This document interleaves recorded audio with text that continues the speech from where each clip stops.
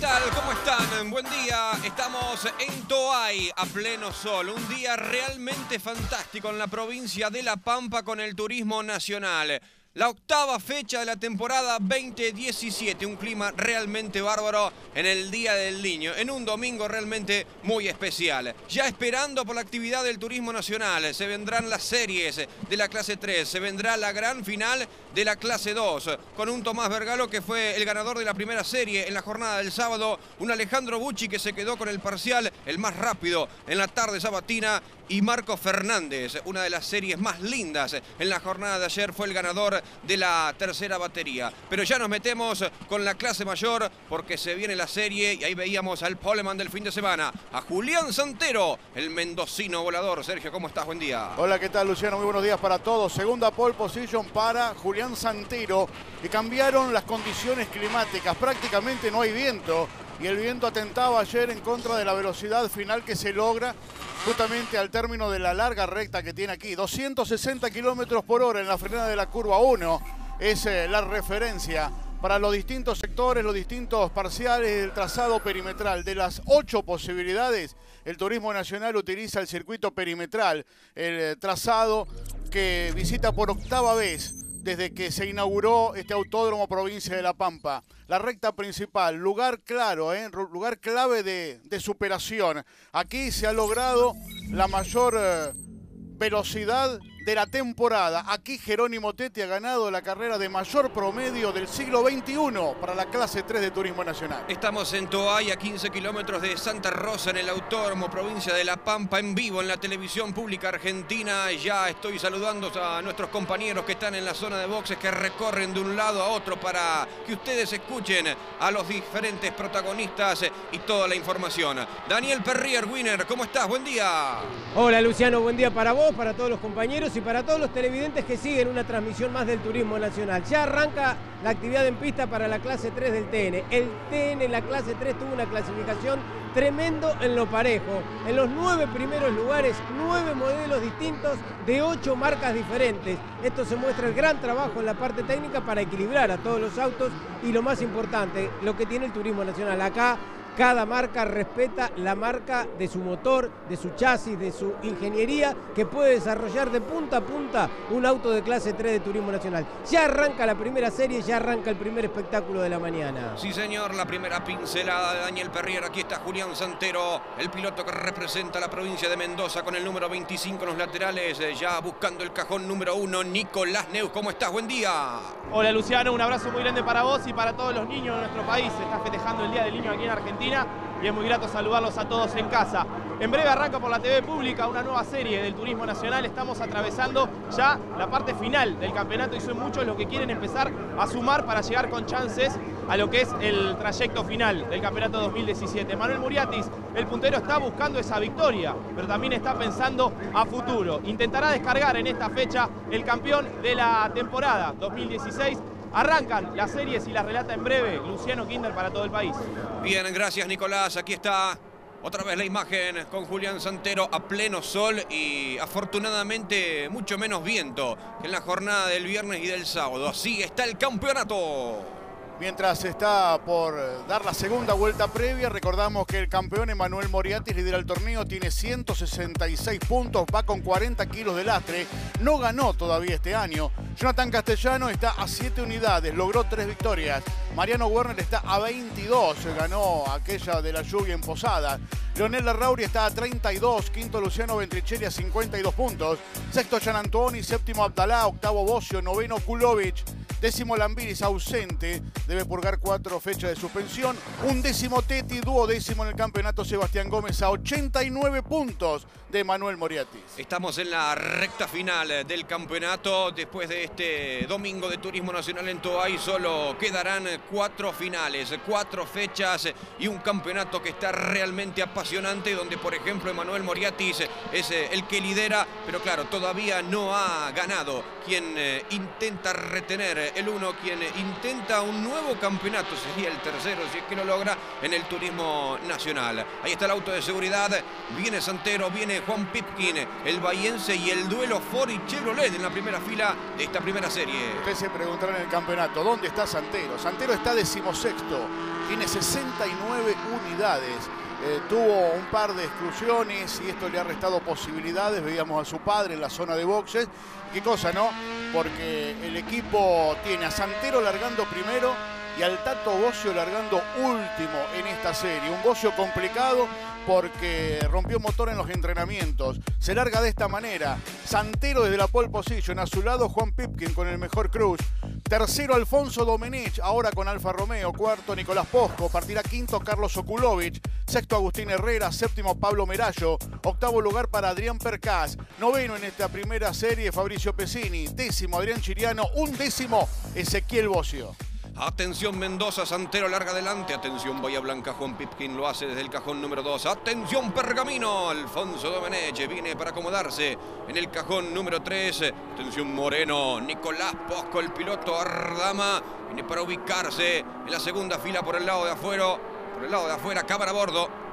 Con Santero ya buscando la última curva. Aquí está Arana y este es Norberto Fontana, el gigante de Recife. Ausente en esta fecha Pablo Otero. Va a retornar posiblemente en la próxima, en Viedma, cuando estrene un Hyundai Veloster. Un auto que está armando Pablo Rafó, el primero de su especie, para que debute Hyundai entonces en la clase 3 de Turismo Nacional. Atención, la Tierra Colorada, Misiones, Oberá, Carlos Okulovich toma parte de esta serie, mientras Don Santero toma un mate en esta mañana fresca, con 3 grados nos ha recibido Toay cuando arribamos hace un rato al Autódromo Provincia de La Pampa.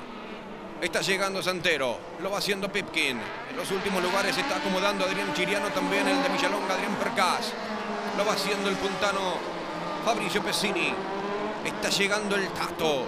Ezequiel Bocio, ex campeón de Cruz Alta. A diferencia de las series de ayer de la clase 2, ya no será una necesidad hacer la recta principal pegado al muro de boxes, porque ya no tenemos el viento cruzado, ráfagas de casi 55 kilómetros por hora que teníamos ayer que tomaban a los autos a 45 grados, pero de cola, eh, favoreciéndolos en la recta principal de este escenario. Se acomodó Santero, ya lo hizo Pipkin, está llegando Agustín Herrera, el Chapulín de la Barría ya se va a mostrar la bandera verde se vendrá esta primera serie, se vendrá la primera batería. Ahora sí, se muestra la bandera verde. El rojo se apagó, largaron. Santero. Santero pica en punta y una buena largada de Alfonso Domenech y casi van al roce. Oh, a Chapa. Iba perdiendo Pipkin, lo va pasando también Okulovich. Y va por afuera el Chapulín. Agustín Herrera va perdiendo posiciones. Eh, justamente Pipkin, el que ahora se quiere meter detrás de Okulovich. El que intentará por afuera es Herrera. Viene Chiriano también con Pesini en el mano a mano han quedado Okulovich y Pipkin. El Cherolet y el For, el For y el Cherolet. Queda por afuera el piloto la Tierra Colorada y adelante Julián Santero. El mendocino volador en la bajada del tobogán. Curva y contracurva y atención porque va saliendo bien pegadito al líder Alfonso Domenech con el Alfa Romeo ahora el representante de Pergamino, el campeón de la clase 2 y Pipkin que finalmente logra ubicarse tercero en una largada enredada para el Vallense. No había sido feliz la partida de Pipkin, tampoco la de Pablo Merallo que perdió muchísimas posiciones. En cambio, Adolfo Domenech, sea con el Citroën cuando se corrió en marzo, ahora con el Alfa Romeo se siente muy cómodo en este escenario, está segundo. Un Alfonso Domenech que intentó estirar el frenaje, pero fíjense la imagen, se le viene Pipkin, ¿eh? Se le viene Pipkin que querrá salir bien pegadito en la recta, pasan frente a nosotros en la cabina. Héctor Titicam, se cumplen la primera vuelta, los primeros 4.148 metros, comienza la carrera de succiones para Santero, para Domenech, para Pipkin, van buscando la curva número uno, es Okulovich, el que intenta también agarrar la succión de Pipkin. Viene Nicolás Poco, viene Herrera, va por afuera. Pipkin quiere ser el nuevo segundo. Se abrió Santero, se cerró y Pipkin por afuera. El nuevo segundo y va Okulovich. Y viene la bloqueada y Pipkin con una muy buena velocidad. Dobla la cola del auto de Julián Santero. Otra vez comienza el duelo de la primera fila entre Santero y Pipkin,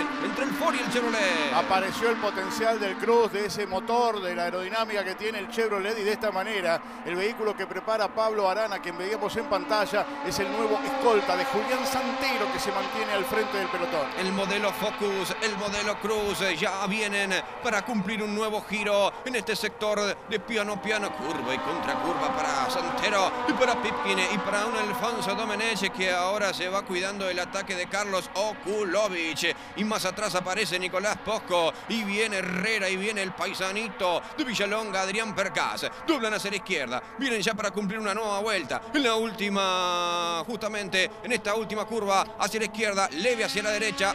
Se van a meter en la recta. Así maneja el líder.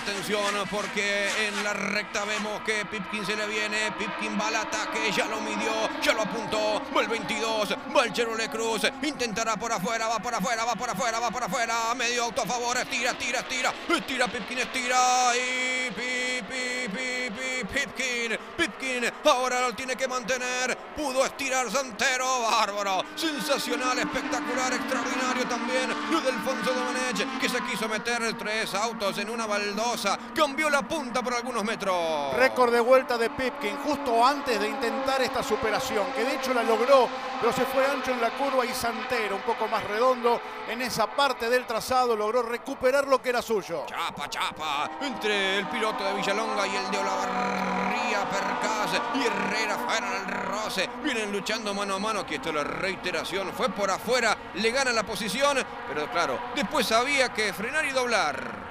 Y no lo pudo llamar. Cuando lo llamó el auto novino, necesitó recorrer más metros. Y cuando... Uy, mirá los inconvenientes y problemas para el piloto de Olavarría, el Chapulín que venía en el sexto lugar. Una pena realmente. Se va quedando a un costado la imagen de Cano, la imagen del gigante de Recife, Norberto Fontana. Recta para todas las máquinas de esta primera batería, de esta primera serie que sigue ganando el mendocino. Y se relame Domenech porque dice, bueno, que se peleen adelante y me permitan acercarme. Observen la diferencia de velocidad final. Tiene un par de kilómetros más Pipkin que vuelve a intentar por afuera. Y otra vez va por afuera y Okulovic también lo va buscando Alfonso Domenech. El Ford que se defiende y ahora le quiere cambiar la trayectoria. Hizo pero no pudo la puerta. La puerta estaba cerrada, sí, Ledesma. Hizo Pipkin, pero no pudo en este y en la bajada del tobogán. Vuelve a doblar adelante Santero. Muy buen control de Santero en el momento de doblar y frenar. No se le mueve un metro el auto al líder de la carrera.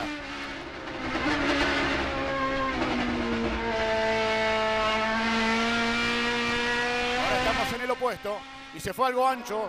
Fue al sobrepiano Santero. Cuando desde atrás eh, vemos que Pesini también viene doblando en el sexto lugar, dominando ese segundo pelotón. Viene la frenada para Santero. Ahora Pipkin, veremos ahora, eh, pequeña bloqueada para el líder, el Ford Focus número 25 del equipo de Gustavo Cano que viene doblando bien pegadito al piano, curva contra curva. Se van a meter en la recta una vez más. A dos giros de la bandera cuadros. Bien pegado al muro y otra vez el ataque de Pipkin a ver si le alcanza en esta para ir a buscarlo. Récord de vuelta de Julián Santero le contestó con el acelerador Santero a Pipkin. 1.21.914 para sacarle cuatro décimas al escolta. Mientras tanto, te confirmo, rotura de motor en el auto de Herrera. Y otra vez por afuera va Pipkin, va el Vallense, el mendocino que se sigue defendiendo. Y Domenech, el de Pergamino, que intenta el hueco. No, no puede en esta tampoco Domenech. Ni que hablar de Pipkin, se le movió el auto en la bajada del tobogán. El Ford, el Chevrolet, el Alfa Romeo bien pegadito al número 22 en los laterales que tiene Juan Pipkin. Cuando pasen por la recta, solo quedará una vuelta. Están clasificando, ¿eh? están a solo dos décimas del tiempo que ayer le valió a Santero quedarse con la pole position en Toay. Ahí va saliendo por arriba del piano y sobre piano. Va doblando también Pesini, lo va haciendo Percas. Más atrás de Merayo, Chiriano y también el Tato Ezequiel Bocio. Viene el frenaje, se van a meter en el último giro. Estira Posco buscando el Okulovic. No puede el de Moreno, el piloto Ardama. Se defiende el de la Tierra Colorada. Desde el cuarto lugar dobla Domenech, tercero. Lo hace Pipkin, que quiere el último giro cuando Justo se dice, dale, vamos, vamos, vamos. Santero adelante, Pipkin. Pipkin y en intenta una vez más en la recta plena succión para el Ford, para el Chevrolet, Santero viene a fondo, casi llegando el corte, maniobra defensiva por afuera, medio auto a favor, se cerró, espectacular, Pepe Pepkin, el Bahiense nuevo líder y ahora se quiere, se quiere vengar, Santero quedó con la sangre en el ojo, en esta sí pudo en el último giro, cambió la punta, Pepkin adelante. Y ojo con Domenech. Y Domenech segundo, sí señor. Perdió el primero y el segundo lugar Santero en la última vuelta. Esta vez no falló Pipkin, esta vez llamó al auto, el auto vino. Tenía el auto puesto en el momento crucial, observen. Esta es la maniobra. Es Santero el que se va algo ancho y es Domenech el que aprovecha para saltar al segundo puesto. Es una carrera de succiones y lo tiene bien claro Pipkin. Lo ejecutó en el último giro cuando el de Villalonga viene pastoreando. También se va afuera Chiriano.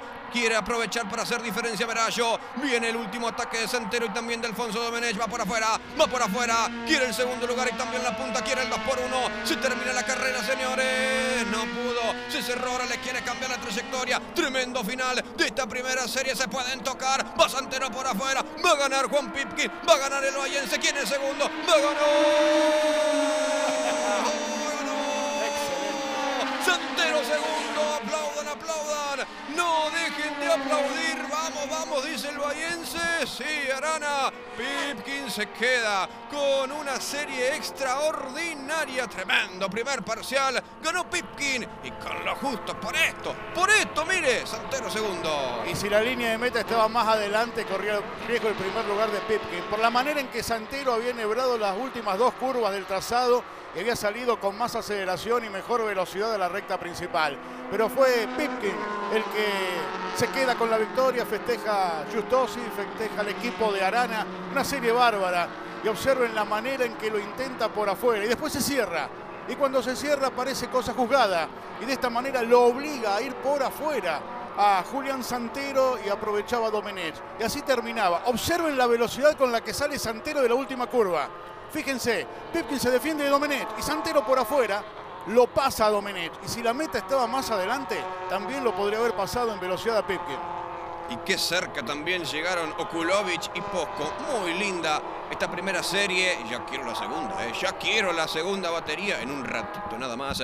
Aquí está el clasificador. Ganó Pepkin 8 minutos, 17 segundos, 736 milésimas de tiempo. Segundo Santero llegó a 69 milésimas. Tercero Domenech a 132 milésimas. Cuarto Kulovic. Quinto Posco. Sexto Pesini.